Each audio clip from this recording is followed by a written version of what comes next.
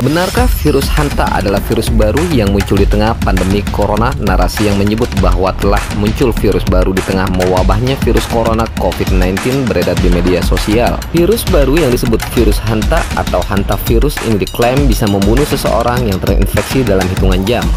Salah satu akun Facebook yang membagikan informasi tersebut adalah akun Octavianus Pehang Tukan, yakni pada Rabu 25 Maret 2020. Dari narasi itu terdapat dalam tautan sebuah artikel dari situs Bora Pele News Iktisar yang berjudul Muncul virus baru di Cina selain corona.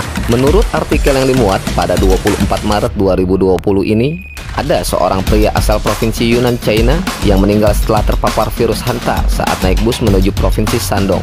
Akibatnya seluruh penumpang lainnya mesti menjalani tes.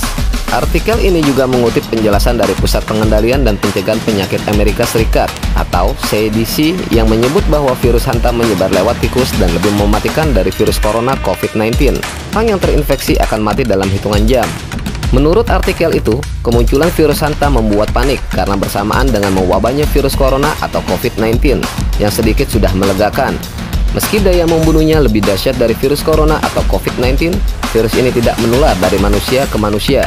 Demikian narasi di bagian akhir artikel tersebut.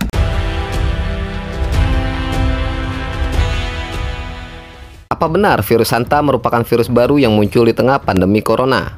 Inilah pemeriksaan faktanya. Berdasarkan arsip pemberitaan Tempo pada 25 Maret 2020, menurut laporan dari situs media asing Global Times, memang ada seorang pria dari provinsi Yunnan China yang meninggal karena terinfeksi virus Hanta. Ia meninggal di dalam sebuah bus ketika dalam perjalanan menuju provinsi Shandong.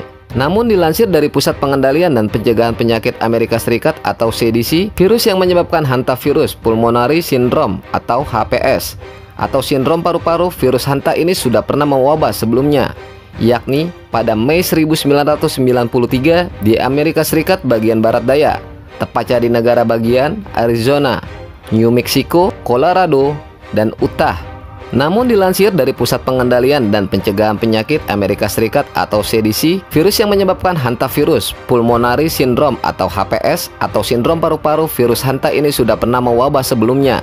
Wabah ini bermula ketika seorang laki-laki muda dari suku Navajo yang sehat secara fisik menderita sesak nafas dan dilarikan ke sebuah rumah sakit di New Mexico. Namun, ia meninggal dengan sangat cepat. Setelah ditelusuri beberapa hari sebelumnya, tunangan laki-laki tersebut juga meninggal setelah menunjukkan gejala yang sama. Kantor Investigasi Medis atau yang disebut OMI New Mexico pun menyisir seluruh wilayah Amerika Serikat bagian barat daya untuk mencari kasus serupa. Dalam beberapa jam, OMI telah menemukan lima anak muda yang sehat secara fisik namun meninggal setelah mengalami gagal napas akut. Beberapa minggu kemudian, para peneliti menemukan bahwa penyakit ini menyebabkan oleh virus Hanta Penyakitnya pun diberi nama Hantavirus Pulmonary Syndrome atau yang disingkat HPS.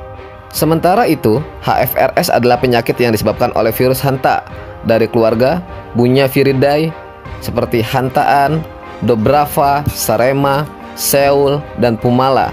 Biasanya gejala HFRS muncul antara 1 sampai 2 minggu setelah terpapar urin, kotoran, atau air liur dari tikus yang terinfeksi. Gejala awal penyakit ini adalah seperti sakit kepala, punggung, perut, demam, kedinginan, mual, dan pandangan kabur.